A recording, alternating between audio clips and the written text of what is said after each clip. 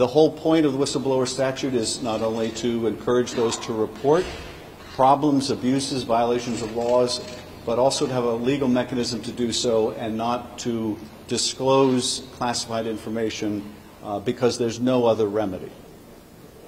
That whole purpose is being frustrated here because the Director of National Intelligence has made the unprecedented decision not to share the complaint with Congress. The Inspector General has two weeks to investigate that complaint to determine if it's urgent and credible, uh, and to forward that complaint to the Director of National Intelligence.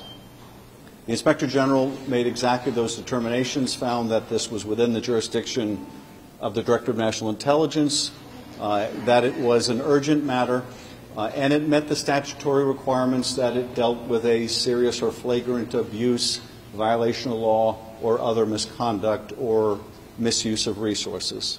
Mr. Atkinson wrote, I set forth the reasons for my concluding that the subject matter involved in the complainant's disclosure not only falls within the DNI's jurisdiction, but relates to one of the most significant and important of the DNI's responsibilities to the American people.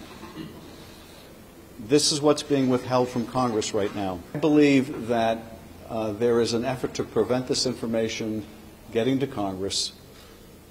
And if the assertion is accurate that the Department of Justice has made and the DNI has affirmed that this involves a potentially privileged communication, then at one level or another, it likely involves either the President or people around him.